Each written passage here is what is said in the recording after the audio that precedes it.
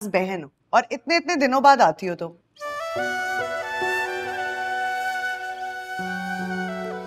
चलो बच्चों खाओ। गुड्डू को दो ना कुछ। मामा बाबा की कॉल आ रही है। इबाद का फ़ोन? आपको कुछ दूँ तो आपको खबर मिल गई कि मैं सोहेल भाई के घर पे हूँ।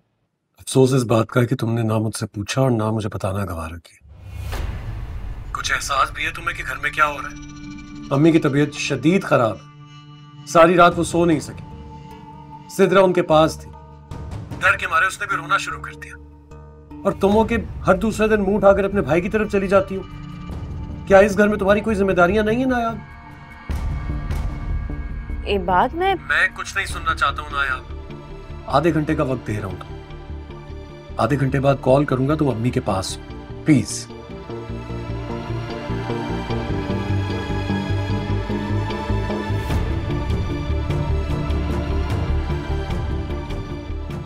क्या वो खैरियत?